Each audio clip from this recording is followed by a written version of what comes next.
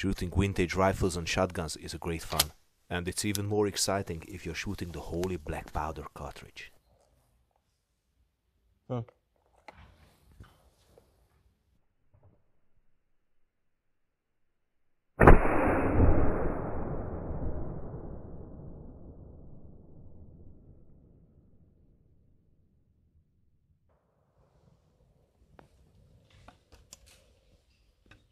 In most cases I'm using brass cartridges, but today I'm going to reload some paper cases with the traditional way, using 19th century tooling.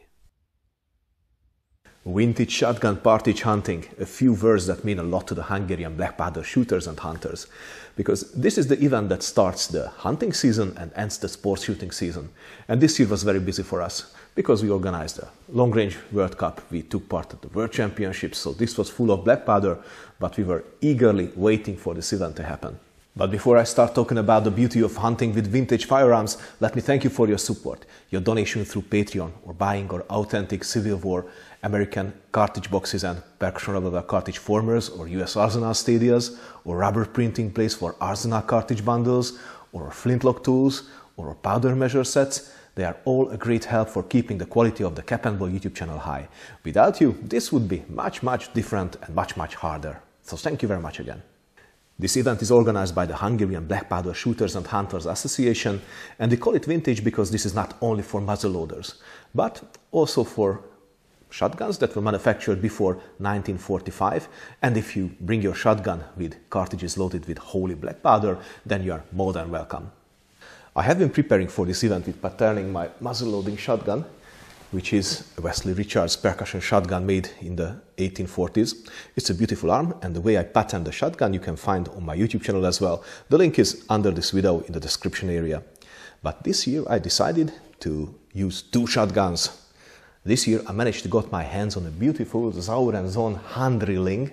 It's a combination gun that has three barrels, two shotgun and one rifle barrels. And this beautiful hand drilling was made sometimes in the end of the 19th century, so it makes a beautiful companion for such vintage shotgun hunting. Sauer & Sohn is one of the oldest gun-making companies that is still in business. Actually, they have been making firearms since 1751 in Suhl. The drilling I have in my hands has three bores, two 12-gauge shotgun bores, with a cartridge length of 65 millimeters. This is shorter than the 12 by 70 cartridge, which is, let's say, a popular cartridge also today. This was a custom by the end of the 19th century, beginning of the 20th century. And the rifle bore has a special caliber as well. It is 10.4 by 47 R cartridge, which is Italian Rev Vetterli cartridge, or it is called also the 10.4 Vetterli cartridge, but it is not rimfire as the Swiss model, but it's center fire, which is easier to reload but the cases are hard to find, so the sighting in of the, of the rifle bore will be a later task of mine. The drilling system was very popular by the end of the 19th century, beginning of the 20th century. It was so popular in Hungary that the old hunters actually criticized the young ones, the drilling hussars, for giving up the old traditions for the sake of the three-month dragon, the drilling. The drilling was indeed a capable hunting arm for big game also, because the two shotgun barrels with a single bore cartridge were capable of hunting big game at short ranges.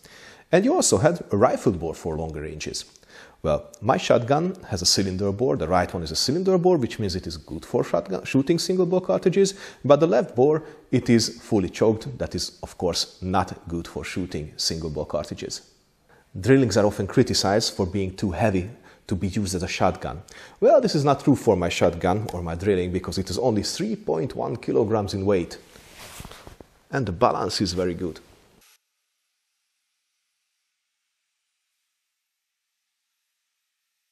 By the end of the 19th century, Sauer was not anymore using Damascus barrels, but good quality, durable cast steel made by Krupp. Their guns were made from three different steels. The rifles were made of special Gewehrlaufstahl, or special rifle bore steel, while the shotgun barrels were made from two types of steels. The ordinary Flussstahl or mild steel was used for the normal quality guns, while the Gussstahl or cast steel was used for the higher quality items. Altogether, Sauer was always known for their simple elegance. Their guns lacked the rich engravings of the contemporary Central European gun makers. My drilling is made of Flussstahl, meaning it was a middle-priced item by its age.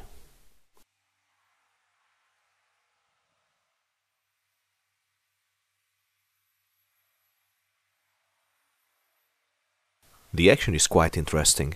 First of all, the breech opens with pressing the lever on the left side of the frame. The key on the top of the breech is actually a selector between the shotgun and the rifled bores. Turn to the left, the rifle bore is fired.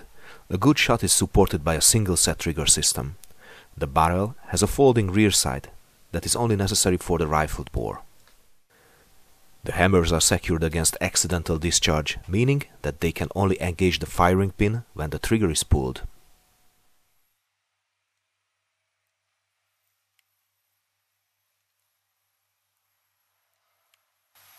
My drilling was born at the black powder age, and according to the proof marks on the rifle and the shotgun barrels, it was not reproof for nitrocellulose powders. So I'm not going to use anything else, just holy black powder. It is inferior to, compared to smokeless powders, of course, but you know what? I don't care. I love the smoke and I love the dirt that comes after.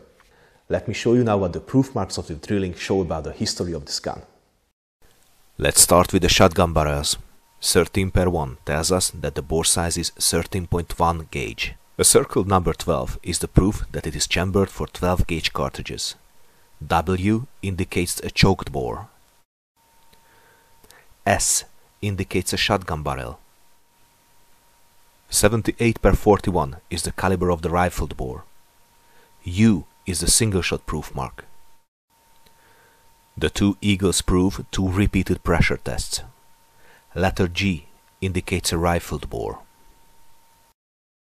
The caliber of the rifled bore is 78 per 41. That's a strange caliber sign. This kind of caliber marking was used at the end of the 19th century and the beginning, the first decade of the 20th century, only in Germany. And uh, it is connected to the gauge system, like in the shotguns. This 78.41 shows the number of equal size lead round balls that could be cast from one pound of pure lead. But be careful because the one pound here is not the British pound, the 454 grams, but it is the German metric pound. It is 500 grams, so it is a bit different. Well, I'm not going to use smokeless powders to reload the cartridges, even if it was a light cartridge. I'm going to first reload paper cartridges using original 19th century tooling. Now this will be fun. Back in the good old days, paper cases were the only option for reloading shot cartridges.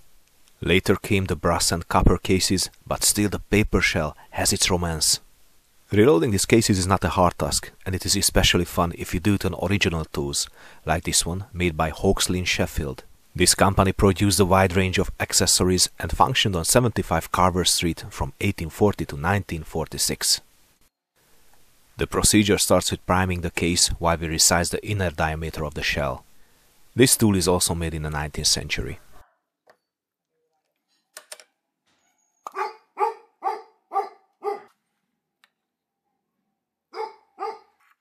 Now comes filling the powder. My charge here is 75 grains of 3F Jagdschwarzpulver.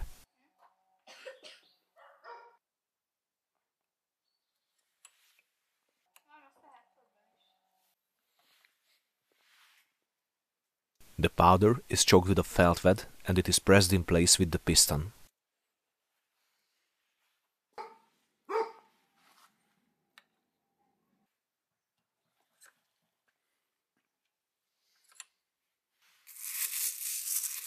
The shot here is 2.9mm shot, loaded for hunting pheasants and partridge. The weight is 33 grams. The shell is closed with an overshot wed. The whole charge then is compressed with the piston.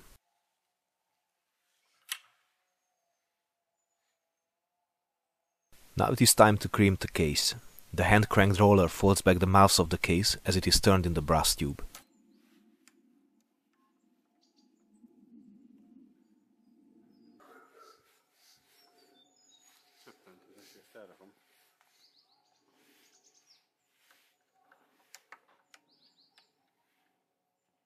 And here you go, your cartridges are ready for hunting. Sizing the outer diameter of the case was often necessary, as the paper absorbs humidity and could become hard to chamber. Now it is time to pattern this shotgun with these beautiful paper cartridges. We are going to do it the same way as we did with the muzzle loader, the old traditional British way, placing a sheet of paper with a 75 centimeter circle in the middle to 35 yards. And we are going to count the pellets and determine the exact percentage of shots within this 75 centimeter circle. Let's check now the paper case cartridges.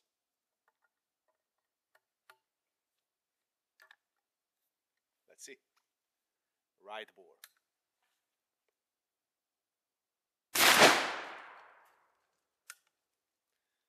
Left bore.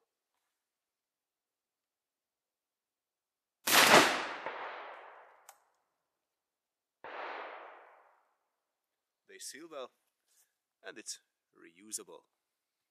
Let's check it. And I really have to say that this is also okay for skeet shooting because there are just no spots where the, where the clay could exit this group. I love it, I love it.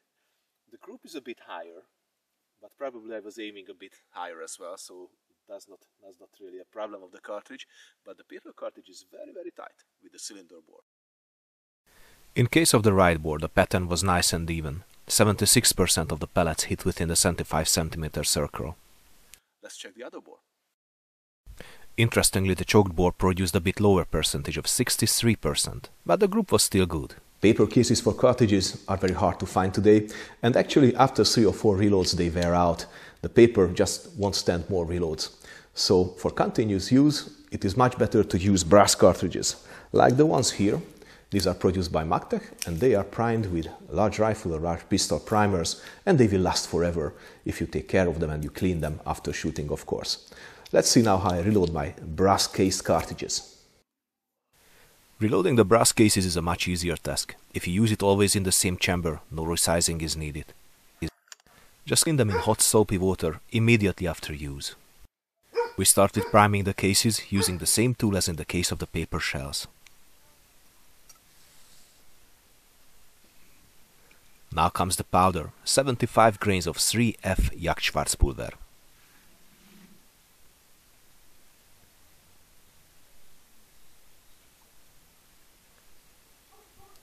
These cartridges are loaded the same way as I do it with my muzzle loading shotgun, so instead of Feldwet, I'm adding cornwet as a filler.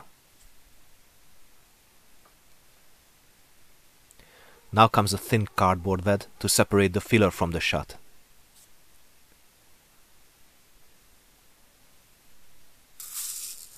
And there comes 33 grams of 2.9 mm shot.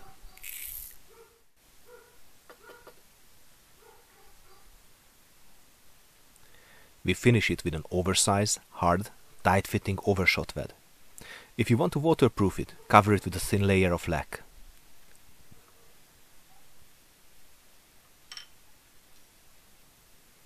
And we are ready to go.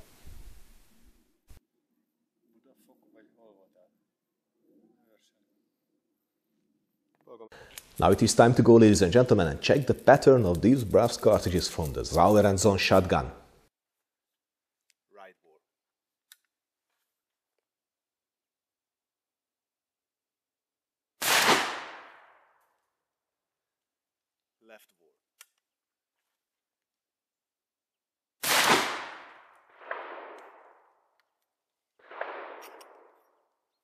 Well, they seal well. And this is the right bore, the cylinder bore, ladies and gentlemen, and the pattern is very nice. It is quite even. There are no spots where a, a pheasant or a partridge could exit this group. The cylinder right bore produced a hit ratio of 64% at 75 yards with a nice even pattern. And this is the left, the choked bore, ladies and gentlemen, and the pattern is very tight. I love that. It's even and tight. It's centered. Well, I was aiming at the dead center of this circle, which means that Probably I could use it for 40-45 yards as well, which is good for a shotgun. This is perfect for hunting. I love the group of both bores. The pattern of the choked bore was surprisingly tight.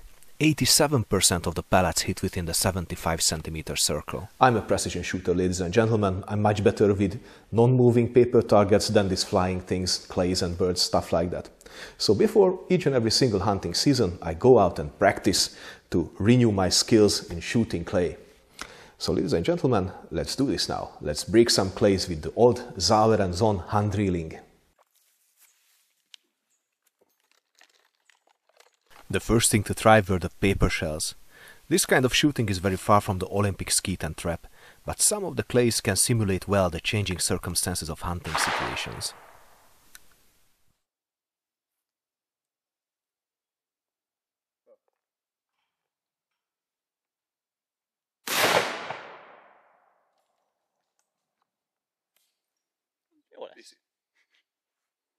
Jól benne vagy. Fekete lőporra.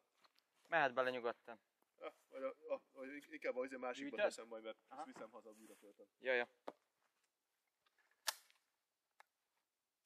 Nézzük szűkkel ugyanezt.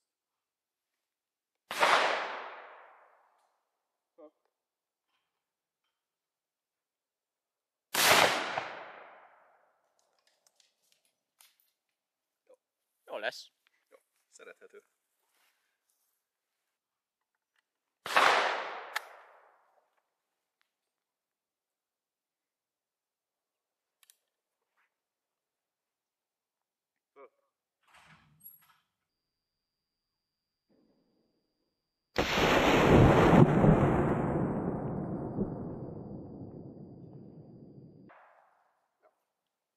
Jó.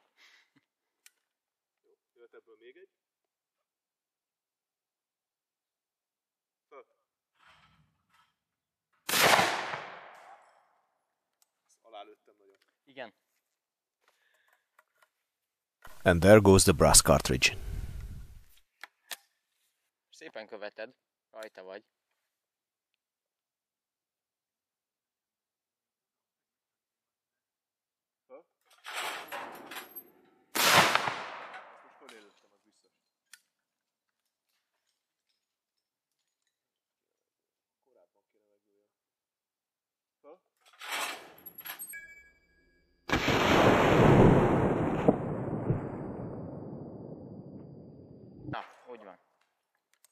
Valójában ugyanazt csináltad követésnél.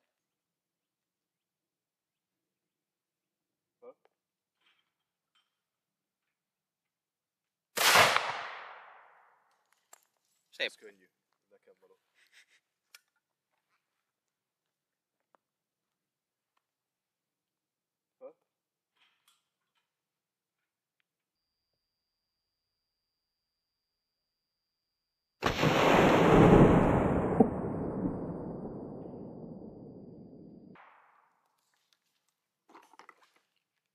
I think we can state now that the scatter gun is still doing its job properly, just as it was doing it back in the end of the 19th century. So, ladies and gentlemen, let's go out and hunt some grey partridge in Hungary with friends.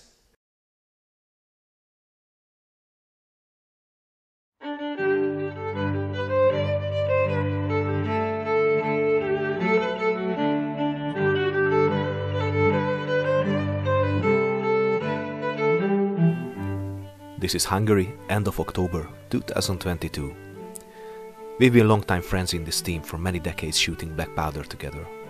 This is a community event organized by the Hungarian Black Powder Shooters and Hunters Association. It is the official closing of the sports shooting season and the start of our black powder hunting season. There are no huge numbers of shot game here, but the time spent together is priceless. Partridge nearly disappeared from Hungary decades ago, but it was the hunters who saved them.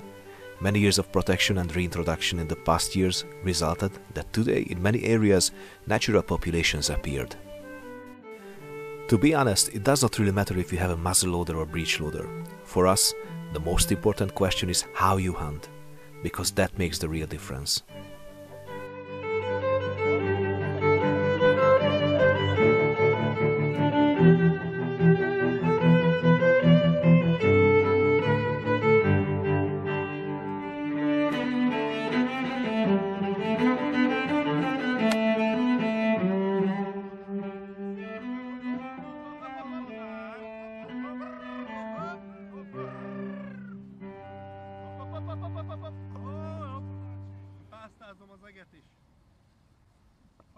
Még, még azon görcsöltünk, hogy egy kicsit széjjel húzzuk oda. A, igen, a, igen.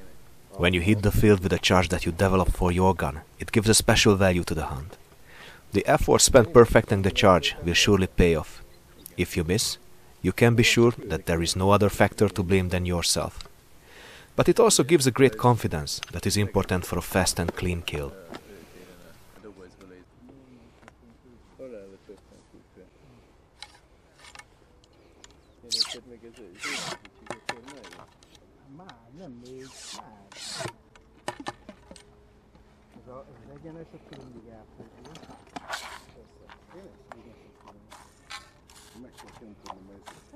fontos, hogy ez működik. Úgy meg, betettem oda egy két fogarat, és ma, ma is elkezdtem. Minek? Hol? Miért? Minek? Meghagyjuk a fasót még a végén. Oké. Okay. Maradjatok ott.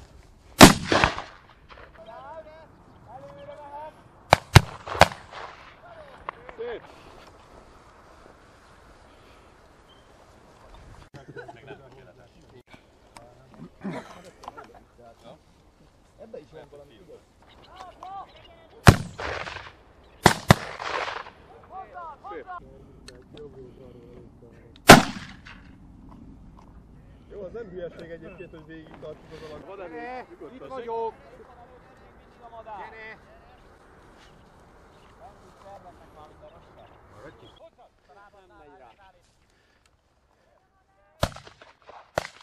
Itt a másik balra!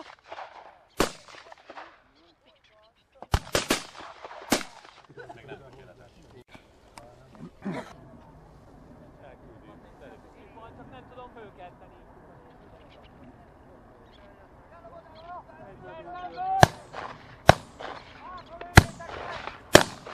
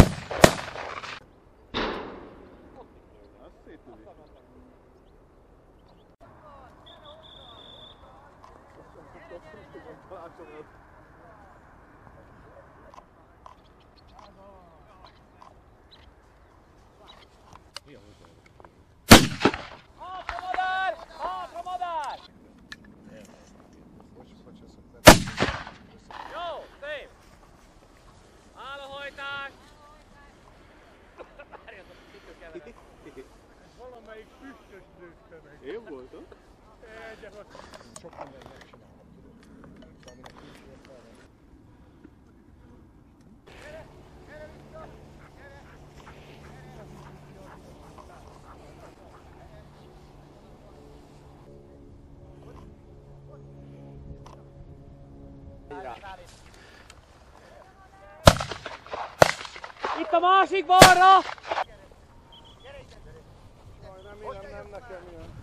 Kell a madár! Hátra! Hátra lőd meg! Jó! Apa, minden oké? Gyönyörű! Hozzad! Ügyes! Ügyes! Előre esett le madár? Igen. Szuper, mindjárt a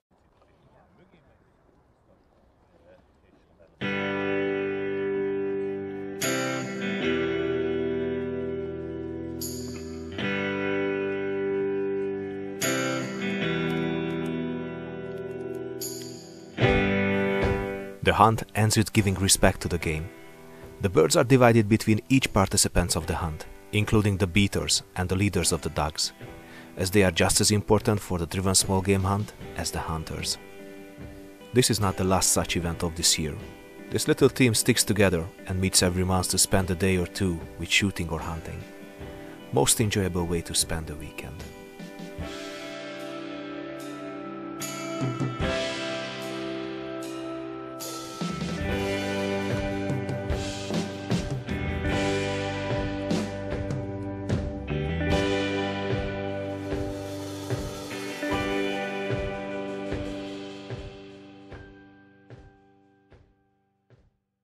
So, ladies and gentlemen, that's the end of the story that started this year in June with the muzzleloading shotgun, and then later carried on with this beautiful vintage black powder cartridge shotgun. It was a beautiful day hunting partridge and pheasant, and I really have to say that uh, this was quite successful for me. I had eight shots, and out of the eight shots, I had five hits, which is much better than, I, than I, what I usually do. And uh, this is solely because of these beautiful vintage guns. It's fun. So, ladies and gentlemen, thank you very much for tuning in to the Cap and Ball YouTube channel. If you like what I do, then please subscribe, comment, like, share. That will help our channel grow. Up until next time, stay cool and keep your powder dry.